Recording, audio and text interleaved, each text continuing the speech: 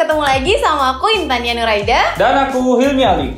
Kita ketemu lagi di konten Edu Info. Nah, untuk teman-teman yang di rumah, semoga kalian tetap sehat, tetap produktif, tetap bahagia. Ya, jangan sedih-sedih terus. Kan Sekarang kalau misalkan di rumah kan kita udah uh, kayak mau nonton nggak bisa kan, mau jajan-jajan udah nggak bisa lagi harus tetap stay di rumah ya. Nah, so sad ya. Kita berharap semua pandemi COVID-19 ini segera berakhir dan kita bisa beraktivitas seperti biasa lagi. Nah, uh, hari ini kita mau ngebahas topik apa nih? Kita bakalan ngebahas topik tentang fobia Iya, terunik di, dunia. Oke, sebelum kita masuk ke uh, konten tersebut, fobia terunik di dunia, aku pengen nyampain dulu sebenarnya apa sih fobia itu? Dan penyebabnya apa? Oke. Nah, sekarang aku yang jelasin. Nah, fobia itu adalah sebuah ketakutan terhadap objek atau kondisi tertentu. Nah, kata fobia sendiri ini itu berasal dari bahasa Yunani atau phobos yang artinya adalah ketakutan.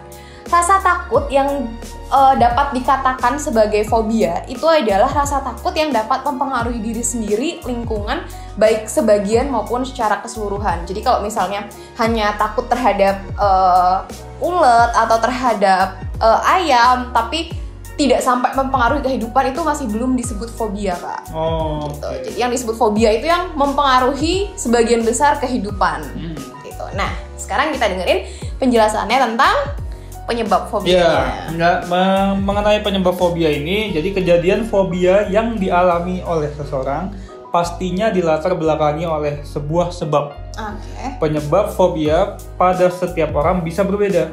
Biasanya penyebab fobia muncul pada waktu kanak-kanak atau mendapat pengalaman buruk gitu. Jadi kalau misalkan orang bawa dari lahir itu kayaknya nggak mungkin ya. Biasanya dari faktor lingkungan kebanyakan. Iya, kebanyakan dari faktor lingkungan. Kalau Kak Hilmi sendiri eh, punya ketakutan atau fobia tertentu nggak? Iya, ya kayak misalkan ngelihat apa ya orang kayak darah gitu-gitu. Oh, Oke, tapi Gitu. nggak termasuk fobia kan? Masih cuman ketakutan yang masih bisa diatasi. Oh, kalau, kalau fobia lebih ke tingkat Iya. ininya ya, secara emosional, pikiran langsung kacau semua ngeliat itu.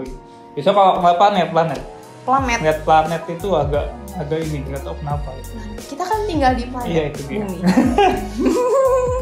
Kalau kamu fobianya apa? Ada nggak? Eh, Hantu, Pak. Bukan fobia sih, tapi yang jelas itu ketakutan ya. Aku takut kalau misalnya harus eh, malam-malam di rumah sendiri dan harus tidur sendiri. Itu aku benar-benar takut. Itu bukan fobia. Eh sejauh ini sih nggak mengganggu aktivitasku, Aktivitas- tapi Oh, Oke. ya tapi bener-bener takut yang nggak tahu kebayang kebayang misalnya ada kayak bakalan ada orang jahat nih, bakalan ada hantu nih, bakalan yang ada yang gangguin aku nih, pokoknya ya ketakutan ketakutan kayak Oh gitu. iya. Oke, mengenai fobia kali ini kita akan menjelaskan ada enam Ada enam. Ya, ada enam fobia terunik di dunia. Iya. Dan yang pertama dibacakan oleh aku. Oke. Oke. Nah, yang pertama.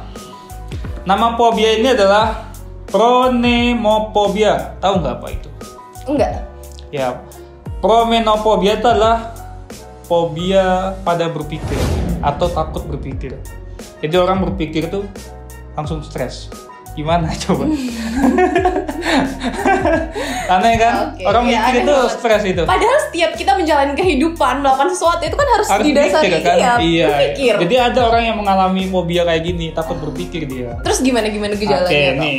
Nih aku jelasin dulu ya. Hah. Jadi fobia ini merupakan ketakutan irasional pada cara berpikir. Jadi seseorang yang tersiksa dari kondisi ini diduga dikarenakan pengalaman rasa gelisah yang amat tinggi. Jadi punya pengalaman gitu loh.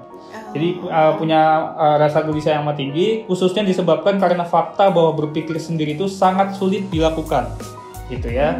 Faktanya kemungkinan dapat terjadi kegelisahan sangat tinggi, yang bahkan mereka dapat menahan rasa panik yang amat besar. Meskipun kegelisahan pada setiap orang tidak selalu mengarah ke fobia ini. Jadi misalkan orang yang pernah kena penderita seperti ini, biasanya kalau dia kena tekanan gitu, yang membuat dia harus berpikir lebih Oh. oh. ini misalkan contoh UN misalkan contoh kan UN oh, dengan waktu sekian harus berpikir ngejawab soal gitu wah itu bikin dia stres Oh, jadi, dia heeh. fobia ini tuh nggak mau yang hal-hal berpikir ya, terlalu keras gitu. ya Oh, yang terlalu tertekan gitu nggak bisa gitu ya. Ya, jadi menyebabkan kegelisahan, kepanikan, dan emosional yang luar biasa. Tapi menurut aku sih itu agak serius ya. Jadi mungkin memang perlu terapis gitu ya. Iya betul, memang memang harus dilakukan sih kayak gitu. Soalnya kalau nggak kayak gitu ya, ya gimana dong masa sih Iya. masa hidupnya nggak mikir terus kan Iya, enak benar-benar. enak juga, eh nggak enak sih. iya iya benar-benar. gitu ya. Oke, itu yang pertama dari aku. Yang Unik sih. Iya, yang selanjutnya dibacakan oleh Kak Inta. Oke, ini yang kedua ada fobia somnifobia. Tahu nggak kak? Apa itu? Enggak tahu. Nggak tahu. Oke, nah somnifobia ini yaitu ketakutan pada tidur. Iya, itu gimana Oke. dong? Somnifobia ini yaitu dia takut eh, takut pada tidur karena fobia ini menyebabkan kecemasan dan ketakutan yang ekstrim ketika dia akan tidur. Seperti itu. Fobia ini juga dikenal dengan nama lain yaitu hipnofobia, klinofobia, kecemasan tidur atau takut eh, takut tidur. Nah, ketakutan ini umumnya itu cukup kuat untuk mempengaruhi kehidupan sehari-hari secara keseluruhan. Gak enak ya. Tiap Iya. malam aku takut terus dong. Mm-mm, takut tidur. Dan itu kan pasti akan mengganggu aktivitas. Misalnya kita takut tidur, terus nanti eh, bakalan aktivitasnya bakalan terganggu karena kita kurang tidur, Hmm. kurang fit, Tapi menurut ngantuk, kamu itu gitu. fobia itu bisa ada kenapa? Mungkin karena mimpi buruk kali ya. Iya, tiap bisa, malam. aja- bisa jadi ketika dia tidur itu mimpi buruk atau terjadi hal-hal yang buruk. Misalnya eh, dahulu waktu dia tidur ada kejahatan atau apa gitu Atau ya. enggak dia mungkin takut tidur karena eh ya karena takut bangun apa nggak bisa bangun lagi gitu. kan. Bisa jadi, Bisa ya jadi. banyak sih, banyak eh, banyak banyak faktor kayak gitu. Oke. sip. Ini kan kita tadi yang pertama kan tentang takut berpikir ya. Iya. Nah, yang ini namanya pobophobia. Apa itu kak? Pobophobia itu adalah takut karena takut. Berpikir Jadi orang dia tuh takut kalau dirinya merasa takut. Gitu. Paham nggak? Eh, bingung. Ya. Oke nih, uh, aku jelasin dulu ya. Jadi fobia itu merupakan ketakutan dari rasa takut itu sendiri, gitu ya. Sehingga segala sesuatu hal yang dapat menyebabkan gelisah, malu, takut dan lain-lain dapat menyebabkan dampak gelisah atau emosional secara berlebihan gitu. Dia takut merasakan apa ya gelisah gitu. Karena kalau misalkan dia mengalami kayak gitu, dia tuh akan emosional suara ini gitu loh. Misalkan contoh ya misalkan contoh kamu sendirian di rumah gitu ya. contoh ada hantu datang gitu kan.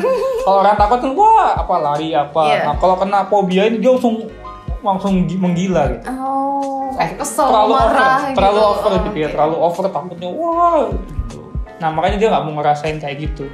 Itu namanya pobophobia sehingga penderita ini eh, lebih sering menghindari hal-hal yang menyebabkan rasa gelisah atau takut sehingga tetap menjaga pola pikir dan emosionalnya secara tenang. Dia selalu tetap jaga. Iya, bagus sih kalau itu. Kalau misalnya eh, si fobia itu bisa menangani rasa pikirannya untuk Hmm. tetap tenang itu bagus sih. Iya, tapi masalahnya kalau kena gitu Iya, ya, kena lagi ada kena sesuatu yang buat gitu. dia takut, Mm-mm. overnya luar biasa. Iya. Itu takut itu termasuk rasa tekanan, misalnya tekanan ketika ujian atau tekanan dari atasan itu termasuk gak bikin pokoknya sesuatu yang menyebabkan orang bikin jadi takut tuh dia nggak mau gitu Hmm. ya termasuk yang masalah misalkan ngerjain ujian nasional eh, pada dasarnya misalkan orang takut gitu ya kalau buat dia dia langsung nggak mau ikut UN kali Oke, oke ya. Nih coba seandainya dia takutnya sama hujan gitu, dia takut kalau mungkin takutnya Takut takut hujan. yang orang pada umumnya Oh, gitu. takut ya Iya, iya, bukan iya, I see, bukan I see. takut hujan itu kan udah namanya fobia lain Oh, lagi kan oke. gitu. pokoknya sesuatu yang membuat dia takut dia menghindari itu ya oke itu dari Oke. saya selanjutnya dilanjutkan oleh Kak Intan arachibutriopobia. ribet amat namanya Iya, namanya eh, dan aku nggak tahu apakah pronunciation yang aku ucapin ini bener. Ah, oke. Nanti kalau misalnya eh, ada anak psikolog atau apa yang tahu kalau pengucapannya salah tolong dibenarkan ya. Iya. Fobia tadi itu adalah ketakutan terhadap selai kacang yang menempel pada langit-langit. Bisa bayangin? amat Bisa bayangin dulu. takutnya selai kacang di langit-langit. Oke, aku jelasin dulu ya. Oke, nah sensasi selai kacang yang menempel di langit-langit mulut itu memang tidak menyenangkan bagi setiap orang. Tapi seseorang yang memiliki eh, fobia ini itu memiliki ketakutan yang lebih besar Oke. kayak gitu. Nah, seseorang yang menderita fobia ini tuh ak- eh, tidak akan mau memakan selai kacang sesedikit apa pun, walaupun selai kacang itu dicampurkan dengan makanan kesukaannya dia, misalnya es krim. Tapi kan masalahnya dia mau. takutnya kalau selai kacangnya di langit-langit. Iya, dia Jadi kalau- takut kalau nempel di situ. Jadi setiap Oh. dia mau makan itu dia berpikiran selai kacang ini bakal nempel di langit-langit dan itu Oh. bikin aku takut dan itu aku nggak mau. Makanya aku nggak mau makan selai kacang. Harus banget gitu. selai kacang ya. Iya, nggak tahu. Ini Iya. selai kacang. Kalau kacang doang, Spesifik banget. kalau kacang doang, Kalau kacang doang kan Nggak eh, ya? nempel, nggak nempel biasanya. Kayak gitu. Emang Oh. emang selai sih menurut aku yang paling lengket itu selai kacang. Oh, Iya. oke. Nah, alasan eh, terbesar ketakutan dari fobia ini adalah itu dia takut tersendak dan ketika makan itu ya takut nempel di langit-langit itu sendiri. Kayak gitu sih. Kayak Enggak, lucu gak sih? berarti enggak, berarti harusnya selain selai kacang juga bisa dong kan kayak misalkan selai-selai lain yang mungkin sama lengketnya dengan selai kacang kan harusnya Iya, bisa. Tapi ini mungkin di alam bawah sadarnya oh, selai kacang, maksudnya selai kacang selai gitu. kacang itu nempel, selai kacang itu lengkah, selai kacang itu bakalan bikin aku tersendak atau apa pokoknya pikirannya tuh ya kalau misalnya fobia itu kan kebanyakan itu diatur sama alam bawah sadarnya dia sendiri. Iya, kayak gitu. Iya. Makanya perlu diterapi. Oke, ya unik ya, unik Iya. banget. Iya, unik. Oke, selanjutnya. Oke, selanjutnya dibacakan oleh saya. Oke, eh, yang selanjutnya ini nama fobianya adalah cherophobia. Tahu nggak fobia apa? Enggak. Chero, chero, chero, Chero. Jadi cherophobia ini adalah takut karena bahagia. Dia takut bahagia, Padahal semua tapi orang dia nggak mau sedih. Padahal semua orang itu berharap untuk bisa mendapatkan kebahagiaan. Iya, Ini kenapa tapi ada dia orang takut yang bahagia. takut bahagia? Nah, ini ini aku bacakan dulu ya. Jadi ketika seseorang mengalami cherophobia, dirinya akan cenderung menjauhi segala aktivitas yang berhubungan dengan hal yang menyenangkan. Di sisi lain, seseorang dengan fobia ini juga bukanlah sosok individu yang selalu bersedih. Yang Jadi kena takut bersedih. bersedih ya, bukan berarti orang yang kena fobia ini tuh dia orangnya sedih terus enggak, bukan gitu gitu. Dia cuma takut untuk bahagia aja cuma gitu. Hmm. Gitu ya.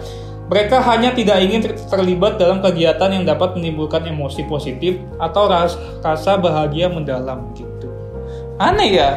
Iya. Aneh. Jadi ini ada contohnya nih di dokternya nih. Jadi ada Peter Lambro, dokter Iya. dia dokter. Dia menceritakan tentang kliennya Ya. yang bernama Sarah. Nah, dia mengatakan bahwa dirinya takut untuk benar-benar merasa bahagia. Menurut Sarah, selama selama hidupnya, ketika dirinya merasa kegembiraan, ada saja hal mengecewakan dan menyakitkan yang ikut menghampiri gitu. Oh. Jadi dulu waktu dia kelas 6 SD, Mm-mm. dia sempat ada acara kan camping sama teman-temannya, Iya. seneng dia. gitu. Mm. Nah, ketika dia pulang, tahu-tahu ada kejadian, dapat kabar neneknya baru meninggal. Gitu. Nah, dia langsung udah masuk ke alam bawah sadarnya.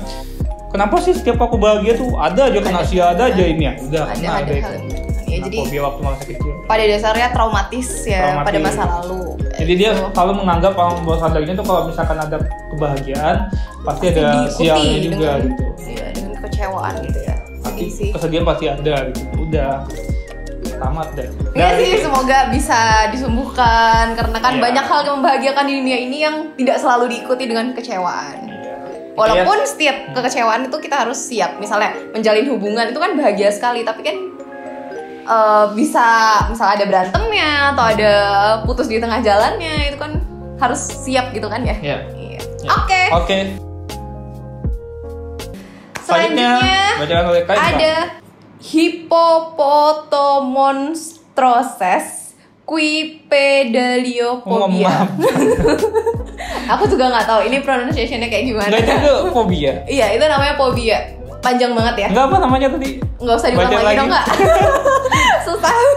Nggak usah diulang lagi nanti dilihat di layar aja. Ya udah oke lah. Nah, eh, fobia ini tuh yaitu ketakutan terhadap kata-kata yang panjang. Kata-kata yang panjang unik sih ini. Jadi gejala ini dapat dipicu ketika seseorang melihat kata-kata yang panjang. Misalnya, ada misalnya lagi nih. Ada kata antidisestablishmentarianism. Ada kata kayak gitu. Itu apa bahasa Indonesia? Itu bahasa Inggris, tapi Bahasa- satu kata. oh, nggak tahu. Oh, tapi iya, aku nggak tahu artinya apa. Jadi ada oh maksudnya kata yang bentuknya panjang, Panjang gitu, nggak yang misalnya nggak ada spasinya. Oh, jadi kalau bukan bukan teks ya, teks Bukan yang banyak teks, itu iya. bukan ya? Nah, tapi gini kak, eh, hal ini tuh menyebabkan seseorang dengan fobia ini merasa sangat takut dan cemas. Jadi kebanyakan dari seseorang dengan fobia ini tuh akan menghindari untuk membaca. supaya dia tidak menemukan kata-kata yang panjang. Berarti kalau misalkan baca buku gitu ya, ketemu kata panjang langsung gitu. Iya. Lempar jadi gitu. dia eh, cemas, takut, bingung kayak gitu. Ingat gak sih ada eh, kata apa namanya kota yang panjang banget. Hmm.